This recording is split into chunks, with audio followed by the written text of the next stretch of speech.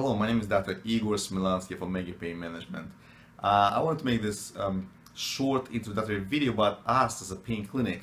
And uh, judging by the name, uh, pain, uh, I want to say a couple of words about uh, pain itself. What is pain? Pain, if you think about it, is probably one of the most important things that we as human beings have, possess. We, uh, pain is a part of everyday life uh, the pain is a part of the self-preservation instinct. Uh, pain is a part of the uh, you know tissue preservation. Uh, pain is a part of the memory formation, and as a neurologist, I can vouch for that. Because think about this: if you got the if you put put your hand on the stove, you burn it, you'll never do it twice. Why? Because the memory has been formed. So uh, pain is extremely extremely important to our survival. But when it gets out of the hand, what, what when it gets out of control, that's when it becomes a problem because uh, it inhibits patients' ability to live their life to the fullest. Uh, they cannot enjoy their kids, they cannot enjoy their families, their uh, grandchildren. So my job as the uh, board certified pain management physician is to limit this pain as much as possible. In order to, to do that, uh, we need to establish diagnosis precisely. You know, so me as a and the patient can be as a team uh, fighting against the known cause, against the known, known enemy, which is pain in this case. Uh, so uh, let's say the patient comes in with a spinal uh, problem to my clinic, you know, and I have to establish diagnosis to know exactly where the pain is coming from. Pain could be coming from the discs in the back. Uh, pain could be coming, uh, so-called discogenic pain. pain could be coming from the small joints in the back of the spine called facetogenic pain. Pain could be coming from the muscle tissue, could be coming from the impingement of the nerves, ligaments, tendons, soft tissues.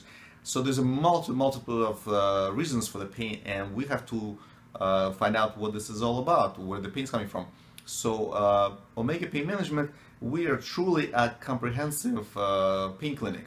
You know, what do I mean uh, when I say comprehensive? We, on one end of the spectrum, we deal, uh, we send people to the, you know, on the conservative end of the spe spectrum, we send people to the physical therapist, to the chiropractors, to the massage therapist, to the, we do the imaging studies, MRIs, CAT scans, x-rays, anything to establish the pain uh, etiology, the source of it, uh, to establish diagnosis. I'm also trained uh, uh in the conservative uh, opiate medication management. You know, my task is to keep the opiates to the minimum without going into all the bad things uh, that come to mind when you think about the opiate medication management, such as the uh, drug addiction, side effects, you know, all the unpleasant bad things that come with this two-edged sword. But once again, opiates, when you use opiates uh, judiciously with a very conservative approach, they do have the, uh, you know, the role in the patient's lives.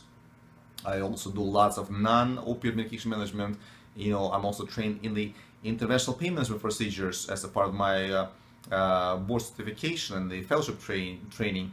So basically, my task as a, a board certified pain management interventionalist is to minimize the patient's need for the surgery. Because if you think about this, the way I view myself, I'm the last guy before the surgeons come in and try to fix the problem. So, uh, you know, my, my task is to try to postpone and hopefully avoid the surgery altogether.